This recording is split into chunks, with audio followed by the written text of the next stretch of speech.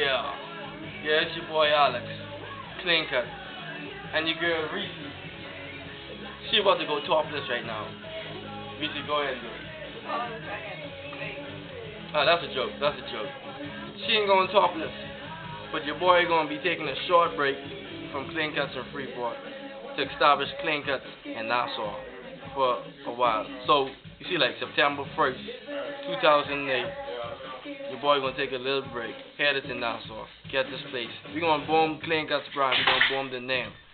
So I'm gonna be coming back, back and forth to Freeport at times. Um, Reese.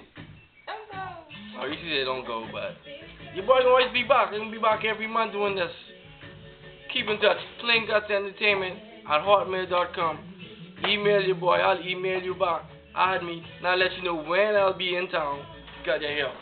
Holla at you, boy, Alex. clean cut. We see what you got say? What? You on yet?